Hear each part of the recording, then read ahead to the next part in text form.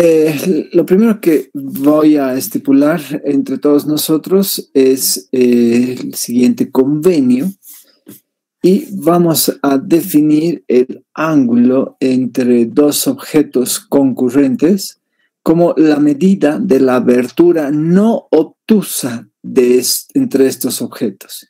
Es decir, que el ángulo que vamos a obtener es o bien agudo o bien es un ángulo recto, pero nunca obtuso. ¿De acuerdo? Esto lo hacemos por lo siguiente. Cuando tenemos, por ejemplo, dos rectas concurrentes, siempre van a formar dos ángulos, ¿no?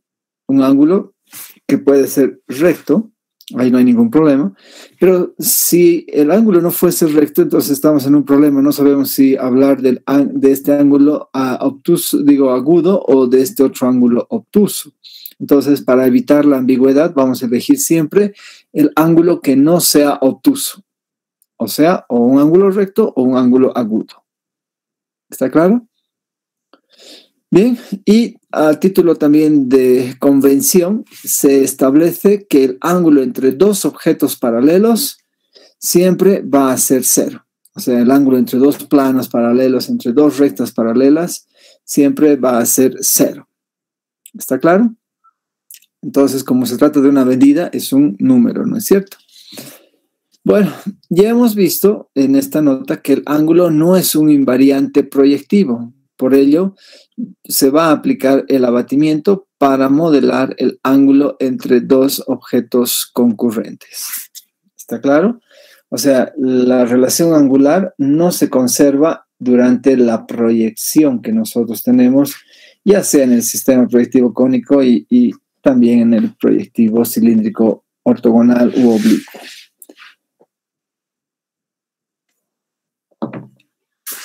Bien, empezaremos entonces trabajando un problema elemental, un problema básico. ¿ya? Y digo básico porque nos va a servir de base para resolver otro tipo de problemas angulares. Si hemos entendido este problema, podemos irnos tranquilos, porque todo lo demás se apoya en esta idea. ¿De acuerdo? Así que el primer problema consiste en construir el ángulo tita entre las rectas concurrentes R y S. Es el ángulo que están formando estas rectas concurrentes. Bien, para este ejemplo me he dado una recta R cualquiera que está dada por su primera proyección, aquí la estamos viendo, R1, y por su segunda proyección, aquí hay un error, esto no debería ser R1, tiene que ser R2. Vamos a arreglar inmediatamente. Ya está. ¿De acuerdo? Esta es la segunda proyección de nuestra recta R, es una recta cualquiera. Y ese me he dado por algún motivo, habrá sido una recta horizontal. ¿De acuerdo? Esta es una recta horizontal. Por eso es que la segunda proyección, como ustedes pueden verla, es paralela a nuestra línea de tierra. Esta es una línea de referencia que no debería tener tanto protagonismo, así que le voy a poner su punteado como corresponde. Muy bien. Entonces queremos encontrar el ángulo entre ellas. Observen de que la recta R y la recta S ¿sí? se cortan en un mismo punto I, donde I sub 1 y sub 2. I sub 1 es la intersección de R1 con S1, mientras que I sub 2 es la intersección de S2 con R2. Ahí está, por eso es que son concurrentes, ¿no es cierto? El punto de concurrencia, o llamado también punto de intersección, es el punto I. Bien, hasta aquí no creo que tenga ningún problema. Entonces, ¿qué es lo que vamos a hacer? Vamos a elegir un plano de, los, de nuestro sistema proyectivo para batir sobre ellos. Y vamos a elegir también un solo sentido de abatimiento. ¿de acuerdo? Para que podamos nosotros construir el ángulo. No necesitamos trabajar con los dos sentidos de abatimiento, uno solo. Bueno, entonces, como se habrán dado cuenta, ya está bien explicitada nuestra charnel aquí y el abatimiento del el plano que contiene a estas dos rectas va a ser sobre el plano horizontal. ¿Por qué digo que contiene estas dos rectas? Porque fíjense de que la traza vertical del plano, que aquí está denominado como alfa, pasa por la traza vertical de la recta R y pasa por la traza vertical de la recta S. Entonces aquí nos define la traza vertical del plano alfa y la traza horizontal del plano alfa tiene que contener a la recta S y a la recta R. Entonces, S1 tiene que ser paralela a la traza horizontal de alfa. Estas dos, esta proyección y esta traza tienen que ser paralelos. Y esta traza tiene que pasar por la traza horizontal de la recta R. O sea que, en efecto, el plano alfa es un plano definido por las rectas S y R. ¿De acuerdo? Entonces, ya tendremos ya tendremos aquí eh, un punto valiosísimo, un punto valiosísimo para construir la, eh, el abatimiento, mejor dicho, de nuestra recta horizontal S. ¿No es cierto? Perdón, de nuestra recta R, que es una recta arbitraria. Y faltaría encontrar el otro punto. ¿Cómo encontramos el otro punto? Pues muy fácil. Para este efecto, fíjense, vamos a abatir la traza vertical del plano alfa. ¿Cómo se hace el abatimiento? Entonces, eh, vamos a tomar una de las, eh, una de las eh, trazas, por ejemplo, el punto que constituye la traza vertical de la recta S.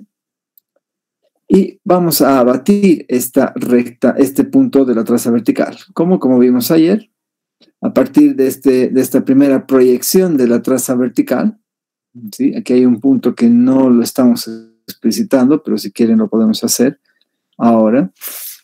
Podemos llamar, para mantener el mismo tamaño, Voy a llamar a este punto A sub 2. Segundito. Vamos a llamar A sub 2 a esto y a esto A sub 1. A sub 1 viene a ser este punto y A sub 2 en realidad estaría confundido con B sub S, ¿no? Eso, eso lo haremos. A sub 2. Esto lo eliminamos ya. Y vamos a poner a, sub 1 aquí.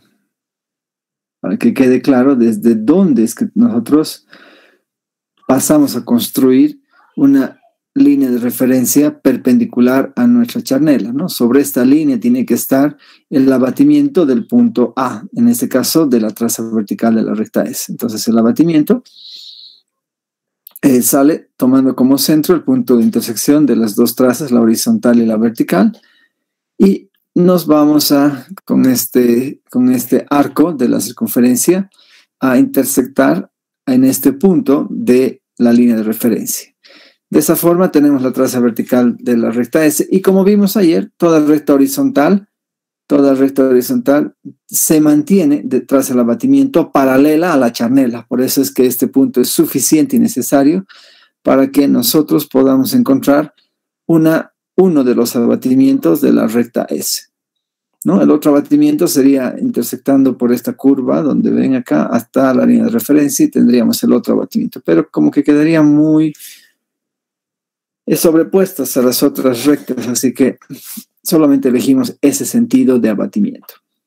Bien, por un lado eso. Y por otro lado nos falta construir, nos falta construir el abatimiento de la recta R, de esta recta R.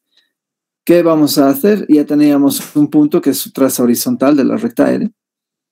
Y para encontrar el otro punto, lo único que vamos a hacer es abatir. Vamos a abatir nuestra, eh, nuestra, nuestro punto de intersección. ¿no? Si esto es I sub 1, I sub 2, entonces por I sub 1 de nuevo hacemos una línea de referencia perpendicular a la chanela, acuérdense del punto M. Y o la otra opción es darnos cuenta de que esta recta va a cortar a, al abatimiento de S en este punto rojo y ese punto precisamente es el que nos va a dar el abatimiento de nuestro punto de confluencia I. Entonces, con este punto rojo y este punto que es la traza horizontal que se mantiene invariante en el abatimiento, ya tenemos los dos puntos que nos van a ayudar a definir el abatimiento de la recta R. Listo, entonces las dos rectas espacialmente se van a ver en un mismo plano de esta manera, están aquí bien destacadas con estas rectas de color rojo, así que buscamos el ángulo que no sea obtuso y el ángulo que no es obtuso lo vamos a llamar tita y de esa manera habremos construido el ángulo entre dos rectas concurrentes. Muy bien, hasta aquí. ¿Tienen alguna pregunta? ¿Qué opina? Inge, disculpe. Adelante. Para hallar el punto I, o sea, su, abatimiento, también podríamos copiar la cota, ¿no? De, de la línea de tierra para arriba hasta correcto, correcto, correcto. Podrías agarrar la cota, la cota de este punto y abatir como hemos aprendido a batir ayer un puntito. Y esta cota la trasladaríamos aquí. Entonces, con esto armaríamos un, un radio y ese radio con seguridad que tras girar va a llegar a este punto de corte. Es otra forma de poder construir el abatimiento del punto I. Por supuesto que sí. Muchas gracias, ingeniero. Muy bien. ¿Alguna otra consulta? Eh, el abatimiento también se podría hacer en el, la traza vertical del plano. Por supuesto que sí. Por eso les digo, aquí tenemos total libertad de elegir el plano sobre el cual nosotros queremos abatir el plano alfa que está conteniendo nuestros rectos concurrentes. Podemos abatir sobre el plano horizontal o podríamos también usar como charnela la traza vertical. Eso ya es decisión de cualquiera de nosotros. El ángulo no va a cambiar en absoluto. Está bien, gracias, Inge. De nada. Por eso que les digo, la, construcción de estos, o sea, obedece a tantos criterios personales que realmente resulta muy, pero muy escasamente probable de que dos personas piensen y tomen decisiones de la misma manera para construir. Eh, la solución de un problema, ¿no? Entonces, por eso es que yo cuando veo eso tengo y buenos indicios de que ha habido de repente fraude, ¿no? En la resolución de algún examen. Es muy poco probable. Pueden tener concomitancia en un par de ideas, pero en todas, muy difícil. Y si de paso eso le agregamos que mantiene la misma notación, peor todavía. O sea, ahí se delatan muchos, muchos eh, compañeros de ustedes cuando están haciendo fraude académico. Bien, ¿no hay más preguntas acerca de este primer problema base? Me interesa que este problema esté bien, bien entendido porque todos los demás problemas se reducen a hallar el ángulo entre dos rectos concurrentes, como voy a pasar a mostrar a continuación. Empecemos trabajando el ángulo entre rectas alabeadas. ¿Ya? Resulta que si tenemos una recta R y una recta S que se están alabeando, ¿ya? Aquí se las está dibujando espacialmente. Fíjense que hay una perpendicular común para que se vea mejor espacialmente. Resulta que si las rectas R y S son rectas alabeadas, es decir, no son paralelas ni concurrentes, entonces el ángulo entre ellas es el ángulo entre una de ellas, la que querramos, por ejemplo, la recta R, y otra recta S', que es concurrente a R en un punto A arbitrario de la recta R, ¿no? Que es obviamente paralela a la otra recta, en este caso a la recta S. Y eso es lo que vamos a hacer. Fíjense, para hallar el ángulo entre esas dos rectas que se están cruzando, la recta R y S, que son alabeadas, elegimos un punto cualquiera, el que se nos antoje de la recta R, un punto cualquiera. ¿De acuerdo? Fíjense.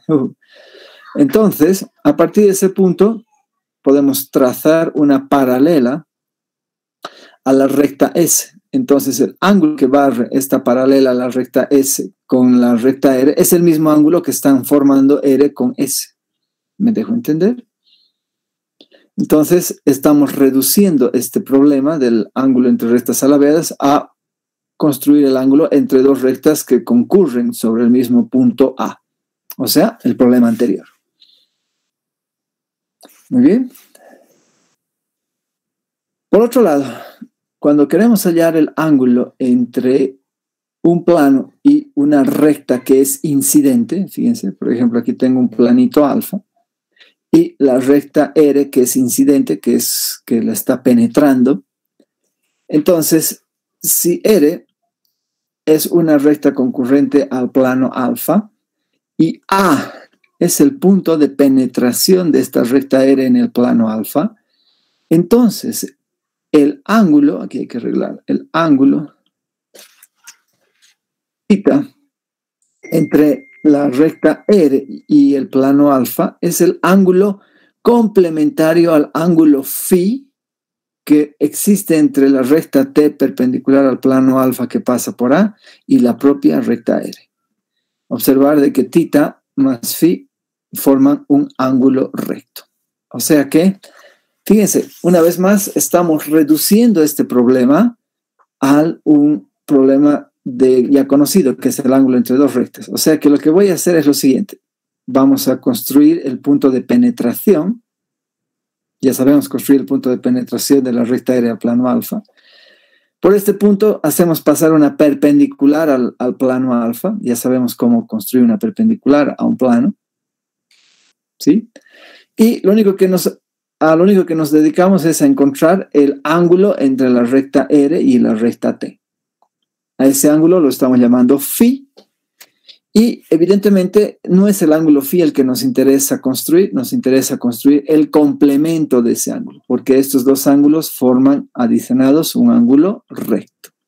Y aquí está el ángulo entre la recta R y el plano alfa. Bien, ¿se ha dejado entender? Otra vez estamos reduciendo el problema al ángulo entre dos rectas concurrentes. En este caso, la recta ET y R que concurren sobre el punto muy bien. Finalmente, eh, para hallar el ángulo entre planos concurrentes, fíjense, tengo un planito alfa y un planito beta que se están cortando en esta recta de intersección. Entonces, ¿qué vamos a hacer para hallar el ángulo entre estos dos planos? Pues muy fácil. Resulta, y eso tal vez ya lo han visto también en la geometría plana, o del espacio, mejor dicho, que dos rectas, que que forman un ángulo recto con cada plano, ¿sí? Nos establecen también el ángulo entre estos planos. No sé si han visto este, esta propiedad de la geometría. De repente, de repente no, no sé. Vamos a Quiero mover esto porque hay algo que no me deja leer. Qué tontería. Ahora sí. Bien. Entonces, fíjense, si desde un punto arbitrario A, si desde ese punto arbitrario A, se construyen las rectas R y S perpendiculares a los planos alfa y beta respectivamente, es decir, R perpendicular al plano alfa y S perpendicular al plano beta. Ambas rectas pasan por A. Entonces, el ángulo tita entre los planos concurrentes alfa y beta es el mismo ángulo definido por las rectas concurrentes R y S. O sea, el ángulo que estaba abriéndose entre alfa y beta es el mismo ángulo que forma las rectas perpendiculares a estos planos. ¿De acuerdo? Eh, ¿Les es familiar esta propiedad o necesitamos explicitarlo un poquito más? no sé, eh, a mí me parece muy, muy familiar para nosotros, ¿no? Por ejemplo, en física, cuando queremos hacer análisis dinámico de, desplazamiento de los bloques que están desplazándose en un plano con pendiente, entonces sabemos de que los vectores normales, ¿sí? mantienen una relación angular en la descomposición que el mismo ángulo entre el plano del desplazamiento del bloque y el plano, el plano horizontal, ¿no es cierto? Esta es la misma idea. Entonces, una vez más, estamos recurriendo a apoyarnos en nuestro problema básico, el de hallar el ángulo entre dos rectas. O sea que el problema es súper sencillo, nos damos un punto cualquiera y desde ese punto bajamos dos normales a cada plano y el ángulo que forman esas normales, esas rectas, es precisamente el ángulo que necesitamos construir. Bien, ¿alguna pregunta entonces hasta acá?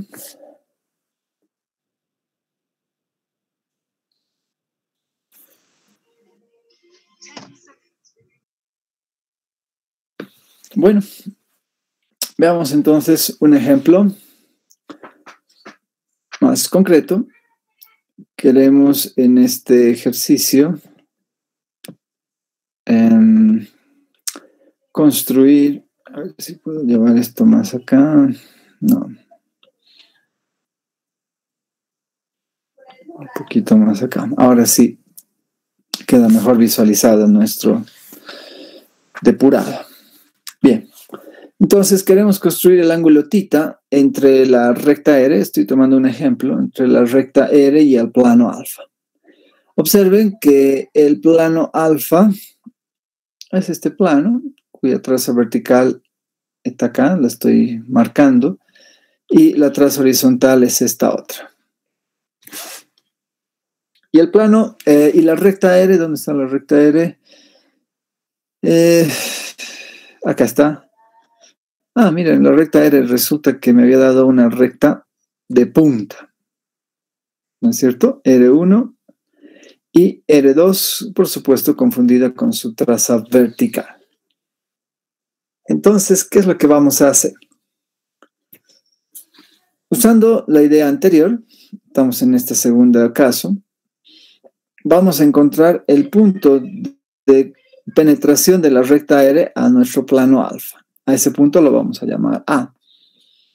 Entonces, ¿cuál va a ser ese punto de penetración?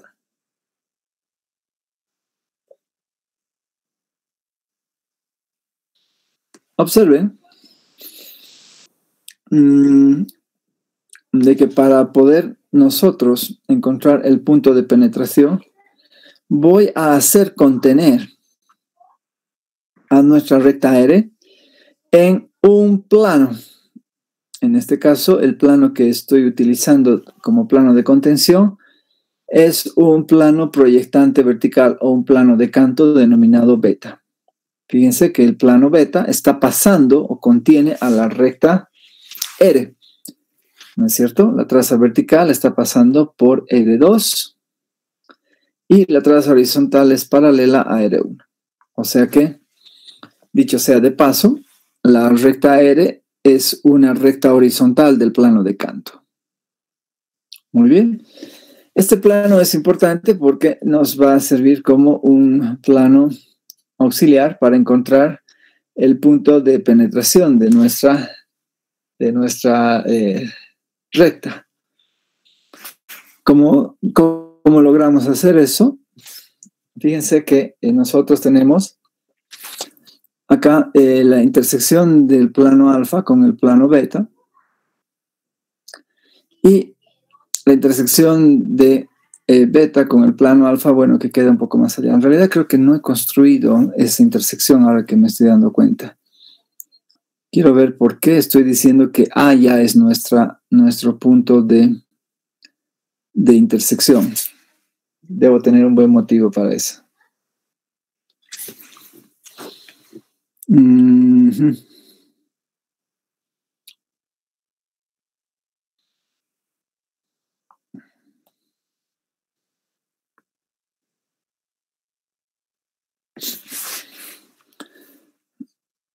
Tal vez he omitido esa construcción, pero hagamos como, como estamos haciendo ahorita. Bien, eh, voy a prolongar h sub alfa. Primero la vamos a a un ratito y disminuir de tamaño. De repente es suficiente este tamaño. Voy a alargar. La verdad que no recuerdo cómo he construido el punto A, pero lo voy a tener que volver a construir ahora. Estoy prolongando nuestra recta nuestra recta que define la traza horizontal de alfa para que se intersecte con esta traza horizontal de beta. ¿Sí? Vamos a disminuir un poquito este tamaño. Y este puntito, donde se intersecta, las dos trazas nos va a ser de mucha utilidad. Llamémosle, eh, si no hay ningún inconveniente, vamos a llamarle ese punto a I sub 1. O sea, eh, perdón, la traza vertical de la recta I. Traza vertical de la recta I. Oh, perdón, horizontal sería, ¿no? Ahora sí. Traza horizontal de la recta I. Esto lo pongamos más acá para no generar confusión. ¿Y dónde estaría la traza vertical de la recta I? Pues vamos a copiar esto y donde se intersectan las dos trazas verticales, ahí está. Y esto sí recién va a ser la traza vertical de la recta I de intersección. Muy bien. Entonces, confundida con, con eh, la con B sub beta. A ver, a ver. Va a estar I sub 2. Ahí está. Mejor lo hacemos junto todo para que no quede muy separado. Lo propio aquí.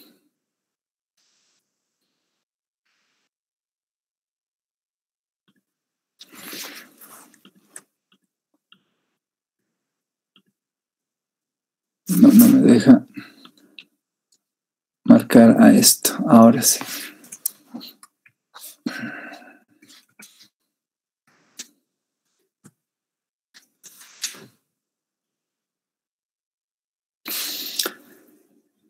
Bien. Y con una línea de referencia, un poquito más grande la armaremos esta línea de referencia, que pasa por B sub I.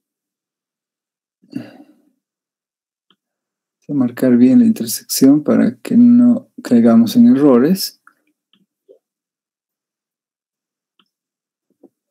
Y a partir de este punto, nosotros debemos trazar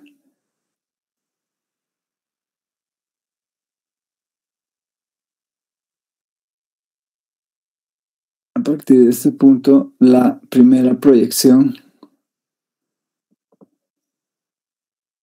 de I, de la recta I.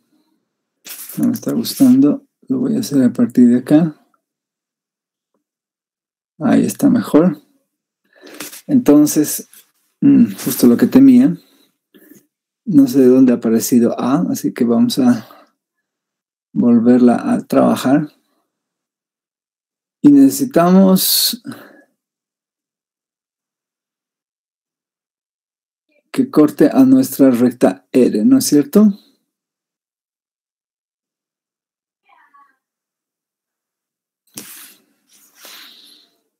Está bien, un poquito más arriba. Ahí está.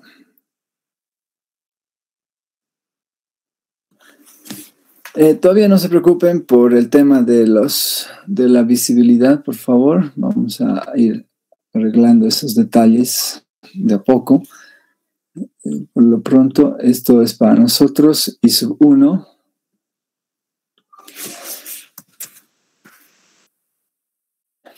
Y ahora, ¿dónde estará, dónde estará A sub 1?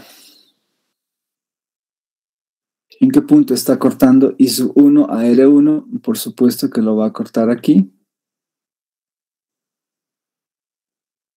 Y este punto debería ser en realidad A sub 1.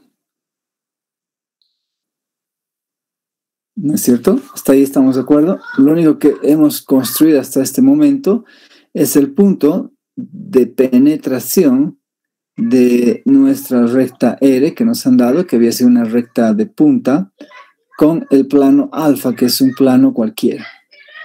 ¿No es cierto? ¿Hasta ahí todos de acuerdo?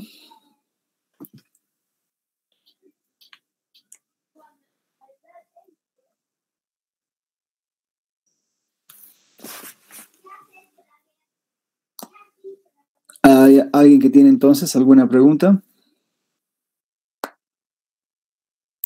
Ingeniero, eh, la recta T no sería la recta, no sería el punto A, el que está, mm, el que se está intersectando con la recta R, la recta T y la recta R, porque ese sería el punto de penetración al plano. La recta T, dices tú. Sí. Mm, a ver, la recta T, en este caso, eh, en realidad la recta T, por lo que estoy marcando, tendría que ser una perpendicular al plano alfa, ¿no es verdad? Y que pase por el punto A. Todavía no hemos hablado nada de la recta T. Solamente aquí, hasta aquí, quiero, les estoy preguntando si se deja entender cómo es que hemos encontrado el punto de penetración. ¿De quién? De la recta R, que es una recta de punta, a este planito alfa. ¿Hasta ahí estamos de acuerdo? La recta T todavía no, no la miren porque me parece que no está todavía bien construida.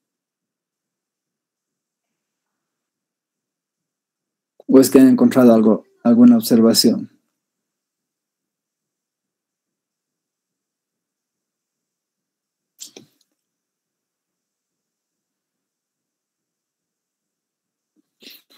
Bien, les insisto con mi pregunta. ¿Está claro entonces de que el punto A es el punto de penetración de esta recta a nuestro plano alfa.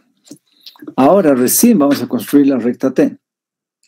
T tiene que ser normal al plano alfa y que pase por A. T tiene que ser normal al plano alfa y que pase por A.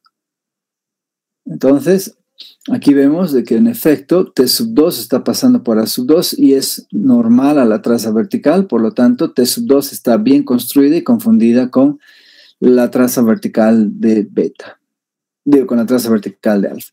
La que no está bien construida es la primera proyección de T. ¿Se dan cuenta por qué? Porque T T sub 1 tiene que pasar por A sub 1. Por eso es que no sé de cómo es que he encontrado este punto. Me parece que había un errorcito. Pero lo arreglamos ahora, no hay problema. Entonces, esta recta tiene que pasar por A sub 1. ¿De acuerdo? Y se va a mantener normal, tiene que mantenerse normal a la traza horizontal de alfa. Así que vamos a copiar la normalidad aquí. ¿Está claro? Y esto recién es T sub 1. Vamos a dibujar mejor. Y esto recién es T sub 1. Ahora sí, tengo una recta T que es normal al plano alfa y que está cortando a la recta R, que está cortando a la recta R en el punto A. ¿Hasta ahí todos de acuerdo?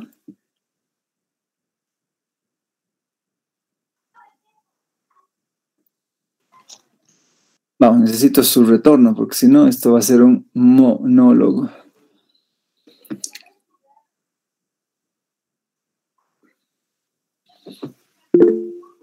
¿Está bien construida nuestra recta T?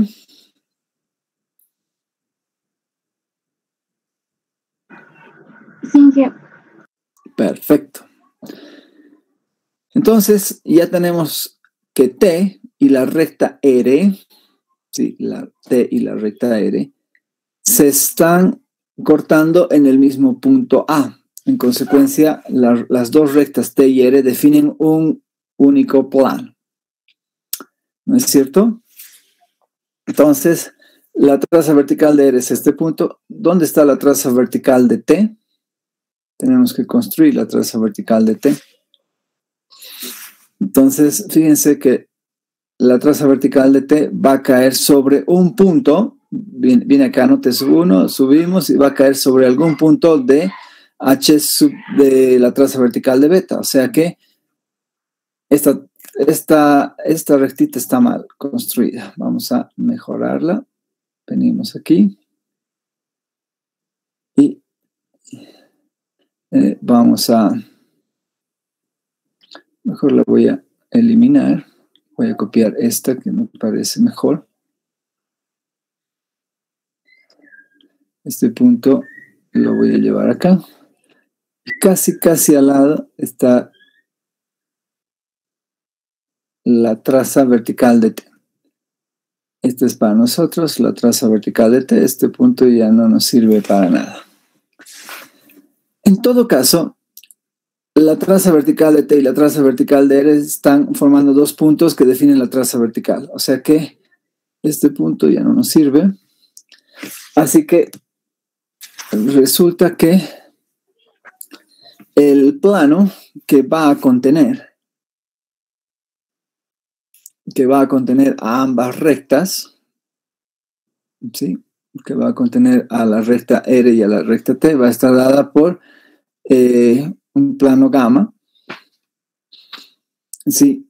que va a contener eh, necesariamente a las dos, a las dos eh, planos. Fíjense, este plano beta, que nos ha servido como plano auxiliar para encontrar el punto de penetración, es a la vez un plano que ya contiene que ya contiene a la recta R y que contiene también a la recta T.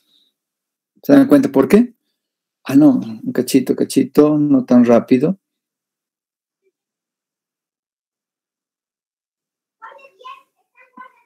Sí, está bien. Contiene la recta T. Y esta es precisamente la traza horizontal de la recta T que tenemos que construirla aquí. Esta es la traza horizontal de la recta T. Ahora sí. Entonces, beta termina siendo a la vez el plano que está conteniendo tanto a la recta T como a la recta R.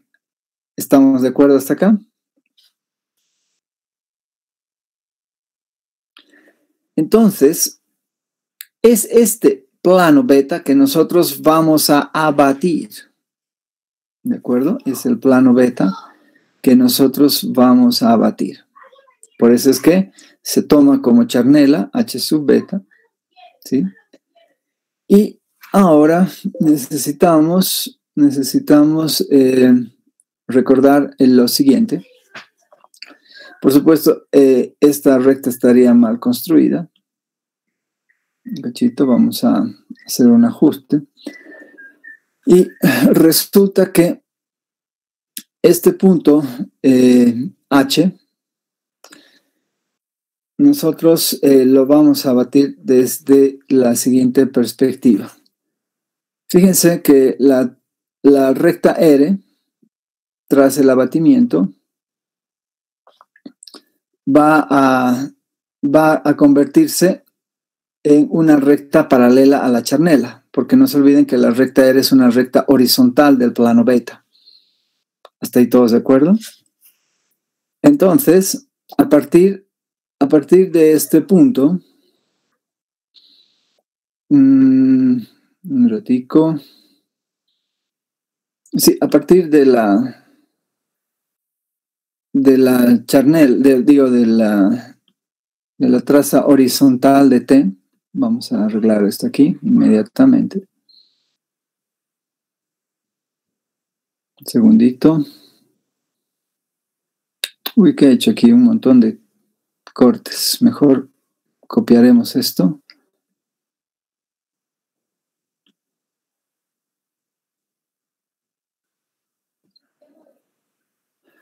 A ver.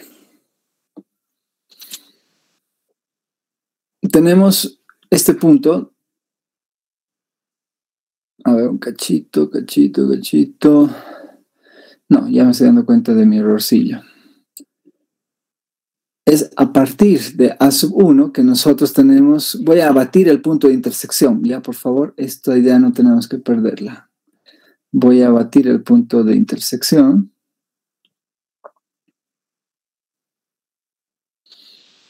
Muy bien. Ojo, estoy abatiendo A sub 1, A sub 2. A sub 2 está confundida con R2, no nos olvidemos. ¿Sí? Podemos hacerlo quizás un poquito más grande para que quede mejor representado. Y ahora queremos abatir el punto A, ¿no? Respecto de la traza horizontal. Entonces hacemos pasar una perpendicular a la charnela, acabo de construir eso. Y resulta que M es el punto donde cortamos a nuestra charnela. Un ratico, necesito más. M es el punto donde cortamos a nuestra charnela con esta línea de referencia. Ahora sí. Ya está. Y eh, fíjense, tenemos que copiar la cota del punto A. ¿No es cierto? La cota del punto A. Pero la cota del punto A es precisamente este mismo segmento que va desde este punto que me ven con la flecha hasta este otro punto. Este segmentito. ¿No es cierto? Acá se forma un triángulo rectángulo y está, es este el radio que a nosotros nos interesa y ese es el que voy a copiar. Ahí está. Y con este radio de giro centrado en el punto M, vamos a llegar a cortar a nuestra línea de referencia. Ahí está. ¿De acuerdo? Entonces, el punto de intersección es este.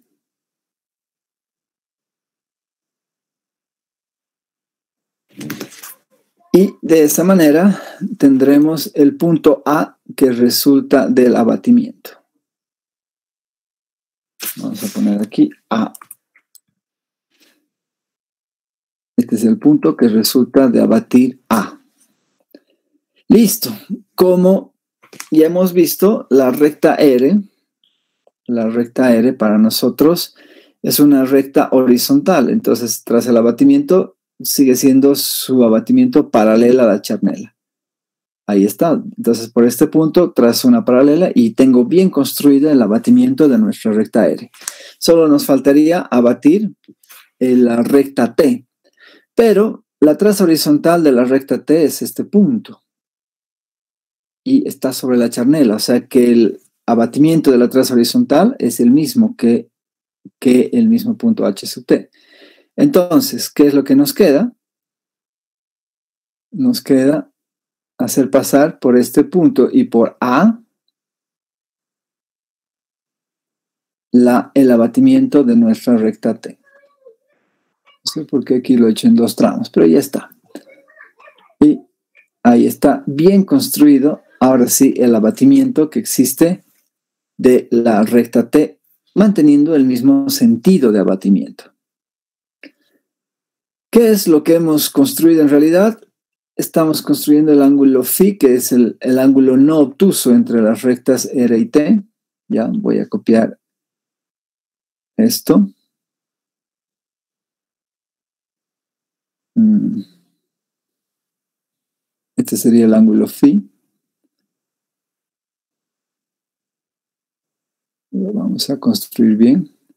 Pero ya hemos visto que no es el ángulo entre T y la recta R el, que nos, el ángulo que nos interesa, ¿no? Nos interesa el ángulo complementario. Ahorita acabamos de encontrar este ángulo phi. Este ángulo phi entre la recta T y R. Lo que nos interesa es el complemento del ángulo phi. Así que por este punto ya tenemos una perpendicular, así que voy a trazar, voy a trazar el ángulo tita. Ahí está. Esto más nos olvidamos llevar. Y ahí está bien construido el ángulo tita. Estas construcciones están de sobra de más. No sé qué tanta, tanto punteado he hecho. No. Uy, no sé cuántos puntos rojos hay aquí. ahora sí. Y estas construcciones ya hay que eliminarlas. Este punto también, chao, no necesitamos. Y listo. Ahora sí está muy bien deducido y explícitamente construida el ángulo tita que formaba esta recta. De repente he usado otra idea hace rato. Ahorita no se me ocurre qué idea usé, pero fíjense que hemos obtenido el mismo ángulo, ¿no? El mismísimo ángulo. Tal vez no era una idea incorrecta. Tal vez no era una idea incorrecta. Pero mejor seguir el, el algoritmo que les había presentado hace una lámina anterior. Y como verán, se arriba al mismo resultado. Muy bien. Entonces, esta sería nuestra última construcción. Y si tienen alguna pregunta, este es un buen momento para formularla.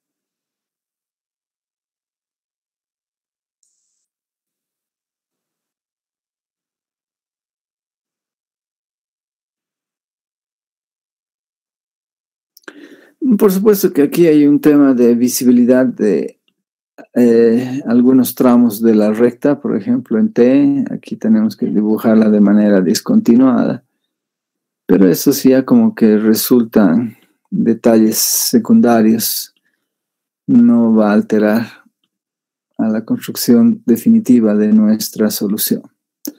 Y aquí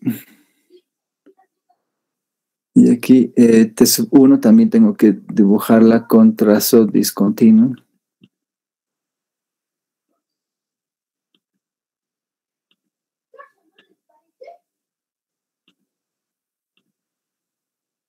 Ahí está mejor. Listo.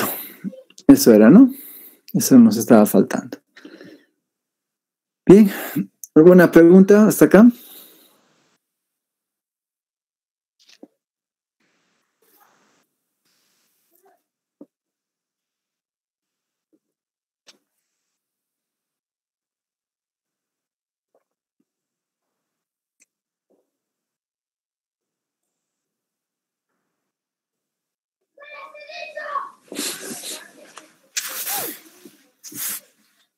Muy bien. Entonces, con esto estamos eh, concluyendo nuestra última sección y, por supuesto, nuestro contenido. El examen lo tenemos, eh, hablo del segundo parcial, lo tenemos programado para el siguiente jueves. Y el miércoles eh, va a haber una clase de aclaración de dudas, será con mi persona o si puede nuestro auxiliar, también le voy a pedir que nos colabore. Así que prepárense, por favor, para que eh, sus últimas dudas sean adecuadamente em, esclarecidas la siguiente semana. Bien. ¿Alguna pregunta? De todos modos, insisto. Ingeniero, la recta y uno también sería punteada. La recta I1 sería en su totalidad punteada, ¿no? Porque está sobre la línea de tierra. Bien, tiene que ser punteadita. No la podemos puntear para que respetemos eh, los acuerdos de la visibilidad.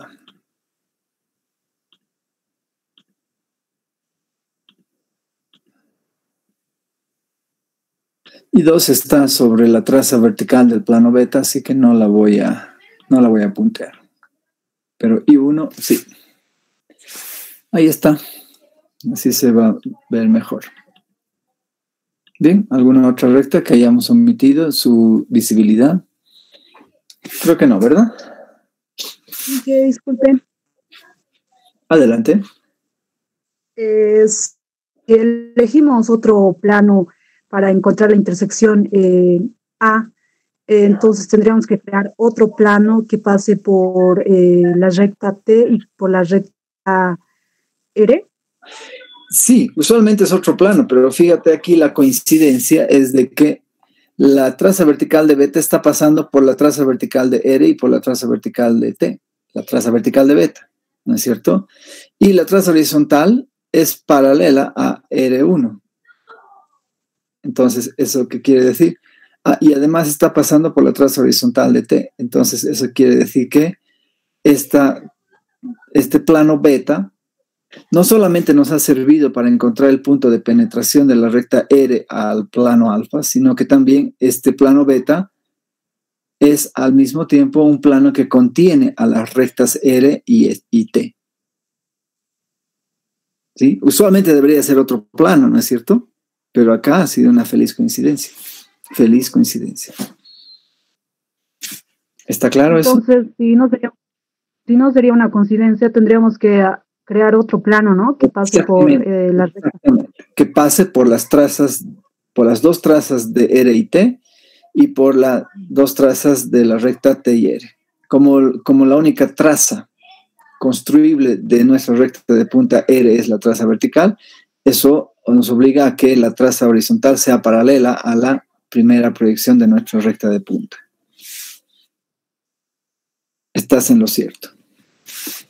Y si haríamos la charnela, este, en este caso, en la vertical, eh, ¿cómo serían las rectas?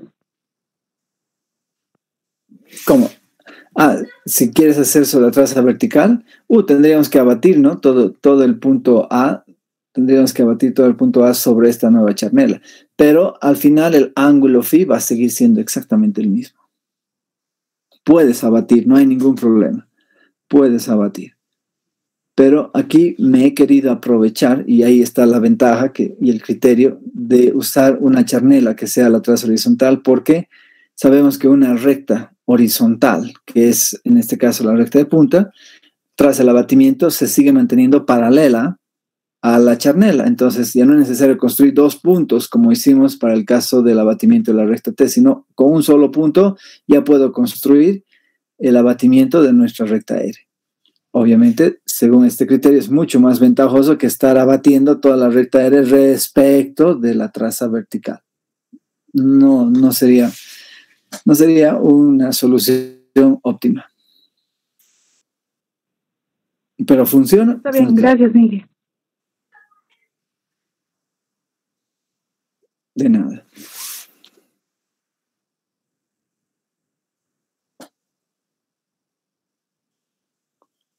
Hija, disculpe, ¿será que puede mostrar la lámina anterior, por favor? Gracias. Si quieres, la hago un poco más chiquita para que puedan visualizar en todo el texto, porque así no se pierde ninguna, ninguna letra.